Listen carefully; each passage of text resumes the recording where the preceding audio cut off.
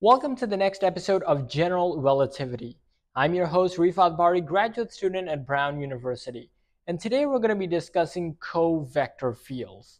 Now, what's so important about covector fields? Well, today I'm going to show you how differentials, your good old dx, dy, dr, d theta, are the exact same things as what we've been talking about the last few lectures, which are covector fields. In other words, what I'm going to show you today is that if you have a good old function, a good old integral, like the integral of f of x dx, then this dx in this integral is the exact same thing as the covector field associated with that dx that has a certain direction of ascending ascent and some vector v. So, in other words, this differential right here, the differential dx, is equivalent to, it's two sides of the same coin as this covector field. Okay? And how is that true? How can that possibly be correct? One is a small infinitesimal change in the variable x, and the other one is some kind of a weird bunch of contour lines. Well, the old definition, the old definition of d, the differential dx, was as follows. If you have a variable x, x is just a variable, right? Then applying the d operator to x gives you a small change in that variable, dx. So dx is a small change in the variable x, in the variable x. But now what we're proposing is that d does something completely different. It takes a scalar function. For example, this is our new interpretation of what this operator d does. If you have a scalar function f of xy, then d converts that scalar function into the contour lines of that scalar function. It converts it into a covector field with a certain direction of ascension and an origin with some vector. So this is the new definition, the new purpose of this operator D. It takes a scalar function f, a scalar function f of x comma y, and it converts it into a covector field, a covector field.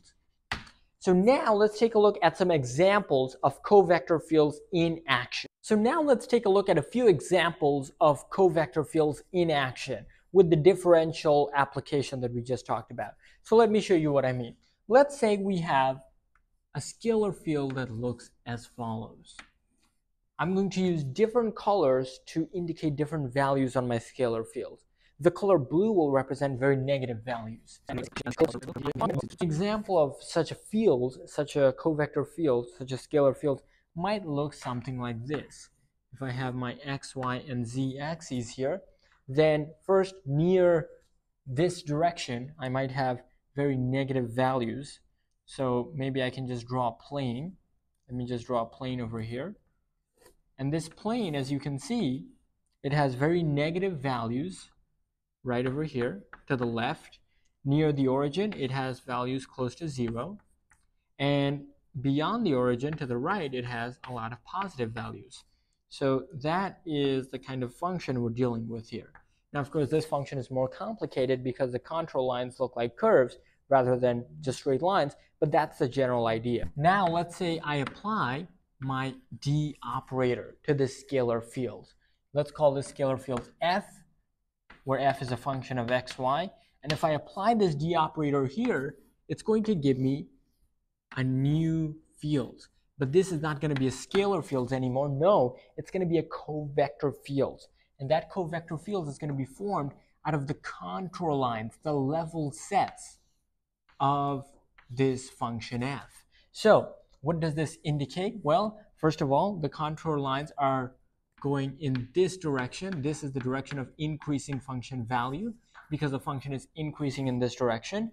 And for example, this contour set might represent negative 1 for the value of f.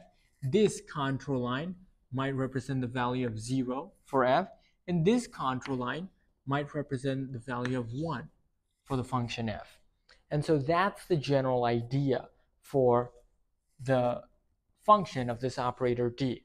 Now let's take a look at another example of using the operator d to convert a scalar function f into a co-vector field df. So let's say we have a function as follows. Let's say we have a scalar function that has negative and positive regions like this. So what would that function look like in three dimensions? Well, I can't really draw well in 3D, but maybe we would have a function as follows. A function that would have deep pits. So if I apply my operator D to this scalar function f, then I will obtain the level sets, the contour fields, the covector fields for this scalar function. And what will that look like? Well, this will look like a region that's divided into four sections for each of my four max and mins. And we're going to have some contour lines here. Now, of course, our function arrows always point to the direction of increasing ascent. So if we want to get out of the minimum, if we want to exit the minimum, then we walk in this direction, trying to exit our minimum field. So we are trying to exit the minimum by walking away from that valley. And what about our maximums? Our maximums also look similar. These are the contour lines for the maxima of the function. And for the maxima, we're trying to get to the maxima because that is the direction where the function increases. So these are the vectors of increasing ascent. Okay, so that's the general idea for how we convert a scalar function f into a vector covector field df using this differential operator. So to summarize, what we've just shown is that this operator df, it takes a scalar function f and converts it into a covector field df. Another way that we can phrase this is that it takes a function, a function f, and it converts that function into the level sets of that function, the contour lines of that function. And finally, the last way, operator, differential operator D converts a zero form, this is known as a zero form field, into a one form.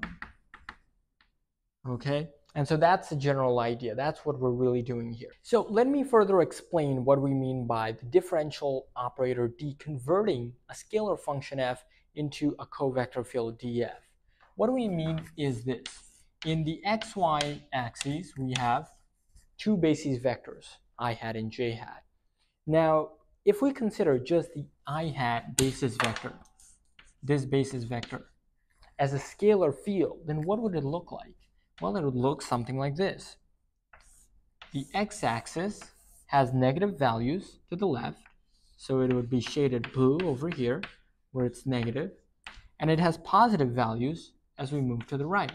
So it would be shaded pink over here. And in the middle, where it's close to zero, it would look kind of yellow. So this is the scalar field for just the x-axis. And if we apply the differential operator d to the scalar field, we get the following covector field. We get contour lines that are vertical as follows, are increasing in this direction to the right. And for example, this contour line might represent x is minus 1. This contour line might represent x is 0. And this one might represent x is plus 1, positive 1. So that's the general idea of how the differential operator D converts the scalar, the scalar field associated with just the x basis vector into this contour, into this covector field. We can do the exact same thing with y. So this is E sub x hat. In the y direction, we also have contour lines. This time, y is negative as I'm going down. So this is the negative direction. And as I go up, the y values become progressively more positive. And in the middle, the y values are close to zero. And so if I apply my differential operator d to this scalar field associated with the y basis vector, then once again, I obtain these covector fields, lines, but now they're horizontal as you can see, and they increase in the vertical direction. And this field line, for example, might represent y equals negative 1. This field line might represent y is 0. And this field line might represent y is positive 1. So that is the general idea behind applying the differential operator d to a scalar field and obtaining a covector field in return. Now we can repeat the same idea in polar coordinates. In polar coordinates, we have just two basis vectors. The first is r, whoops, the first is r, which is radially outwards. Okay, so if this is my circle of constant radius, then the r basis vector goes in this direction, and the theta basis vector goes in the angular direction as follows. So if I draw the scalar fields associated with each of these basis vectors, what would they look like? Well, let's draw first the scalar field associated with the r basis vector. For the r basis vector, the scalar field looks like this. As we move increasingly outwards, the r value gets larger and larger. Okay, so what I'm going to draw it as is first, the r values are small, so let's let me just use a light shade of blue and then the R values get bigger. So I'm going to use a more concentrated version of blue. And as I get even further out, the R values get even larger, right? There's no limit to how big your radius can get for the scalar field. And now if I apply, this is my scalar field f associated with the r hat basis vector. If I apply the differential operator d to this scalar field, then I'll obtain the covector field associated with this basis vector uh, scalar field. And what is that? What does that covector field look like? It looks like exactly what you might expect. The contour lines of this scalar field are just circles of constant radii. And the circles increase in this direction, in this radially outwards direction. And so that's the general idea. This circle, for example, might represent a radius r equals 1 the second circle might represent a radius r equals 2, and so on and so forth. So that's how we've converted our scalar field f for the radial basis vector into a differential covector field df. Or as more appropriate for this case, r has been converted into dr. Now likewise, let's repeat the same analysis with the theta hat variable. For the theta hat variable, we have theta increasing in this direction. So theta will start out small over here, but as we progressively go outwards, theta will get larger and larger. So I'm going to start shading in. I'm going to make the size of the theta vectors, the theta things bigger and bigger. So as you can see, as I go outwards, as I go in the theta hat direction, the value of theta increases more and more. So this is the scalar field associated with theta. And if I apply my differential vector, my differential operator d, then I obtain the covector field associated with theta, which looks kind of like a fan spreading outwards as follows. And the direction of increasing ascent for theta is in the radial direction as follows. So this is d theta. That's how d theta looks like.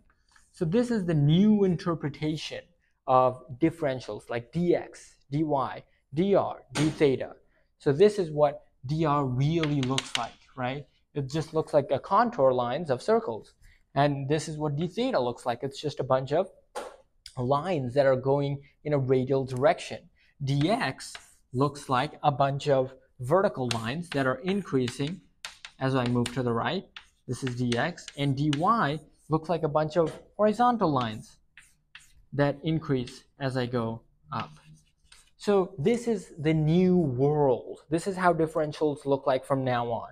Now differentials are no longer tiny infinitesimal changes in a variable. Instead, they're entire vector fields. They're covector fields, such as covector fields made out of contour circular lines, covector fields made out of radial lines, covector fields made out of vertical and horizontal lines.